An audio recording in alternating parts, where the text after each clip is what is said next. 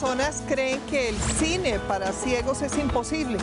La audiodescripción ya llegó a nuestro país para mostrar con un mundo de detalles las situaciones y cosas para que todas las personas con problemas visuales disfruten del séptimo arte.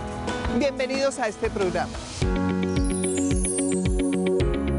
La televisión y el cine se han mostrado como medios ajenos a las personas que presentan algún tipo de discapacidad visual, desconociendo que se han hecho grandes esfuerzos para que cada día estas personas sean incluidas en los formatos audiovisuales y puedan disfrutar de la cultura y el entretenimiento gracias a la audiodescripción.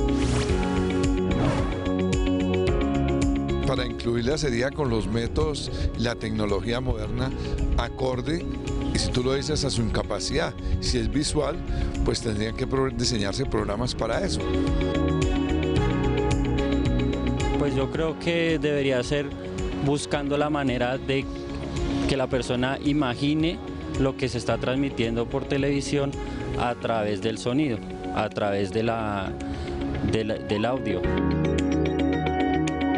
Yo creo que tienen que trabajar en eso, digamos, un sonido especial para que, digamos, la gente discapacitada escuche, así como eh, ahora lo hacen para las personas que no pueden escuchar por medio de close capture, entonces pues que lo hagan, digamos, si hay una forma especial, pues lo tendrían que implementar. La audiodescripción se basa en una explicación puntual y minuciosa de personajes, de situaciones, de acciones, de paisajes, de gestos de vestuario y de circunstancias que ocurren en una escena, facilitando así la total apreciación de la película por parte de las personas con discapacidad visual.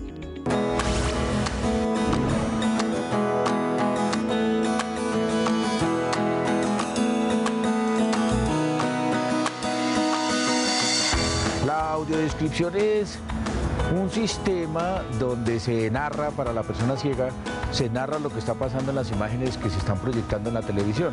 En los espacios donde no se habla, en los espacios donde no hay diálogos, aprovechan para ir narrando a la persona con discapacidad y en esa combinación entre el diálogo de la película, la narración de la audiodescripción y los sonidos propios de la película, pues eh, la persona con discapacidad puede acceder muchísimo más fácil al contenido como tal de la película. Eso mismo se hace con las películas de cine con el fin de llevar al oyente a vivir e imaginar todo lo que está sucediendo.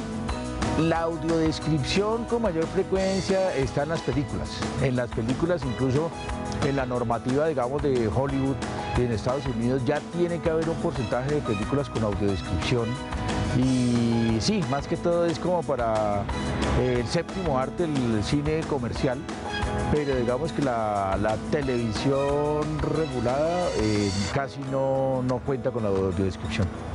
Desafortunadamente a la televisión le falta mucho camino por recorrer con miras a adoptar el sistema de audiodescripción como un recurso propio de sus contenidos y pensando en las personas con discapacidad visual.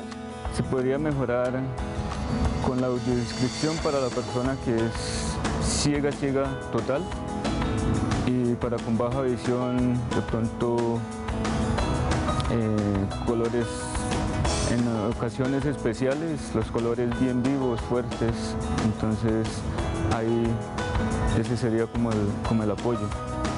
Yo le añadiría cierta disposición que nos permita a nosotros como ciegos escuchar la programación de aquel canal para seleccionarlo y escuchar ese programa. Seguir pensando en soluciones para que las personas que presentan discapacidad visual logren tener acceso a los diversos formatos audiovisuales es un proceso que se tiene que apoyar y todos los medios deben pensar en adoptar estas herramientas tecnológicas. Hasta pronto.